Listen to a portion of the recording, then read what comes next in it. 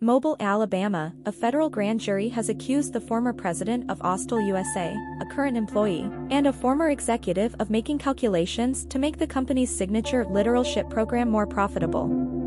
The Securities and Exchange Commission simultaneously filed a federal lawsuit against three of them, arguing many of the same allegations and asking a judge to order them to surrender ill-gotten gains. Taken together, court cases are a major blow to one of region's most important employers and its signature product, Littoral Combat Ship built for Navy.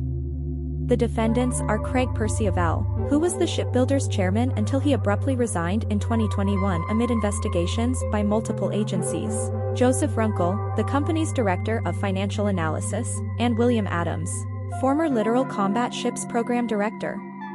They are charged with conspiracy, electronic and electronic affecting a financial institution. The charges include a maximum sentence of 30 years, but the actual punishment is likely to be less than under advisory sentencing guidelines. In the indictment, the defendants are charged with orchestrating a scheme to mislead Austal USA shareholders and financial institutions from approximately 2013 to July 2016. He claims that the three of them conspired to misrepresent the profitability of each littoral combat ship. Fraudulent accounting measures allegedly kept Austal's shares high.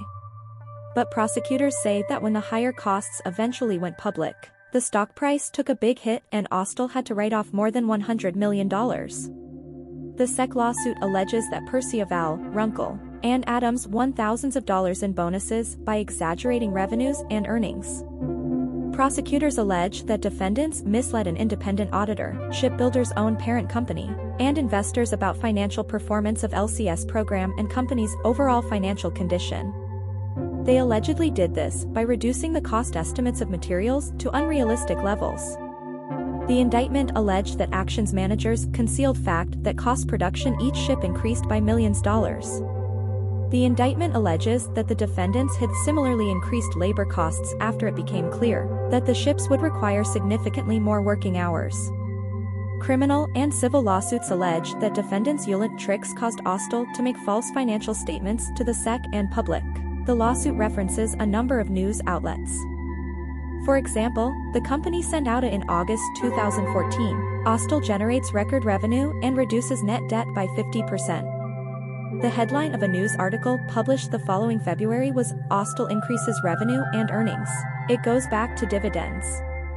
The lawsuit alleges that the information contained in this and other publications is false due to committed by the defendants. The next step in the criminal case will be for Perciavalle, Runkel, and Adams to appear in court where they are expected to plead not guilty. Updated at 1857. More details on the claims. Voila.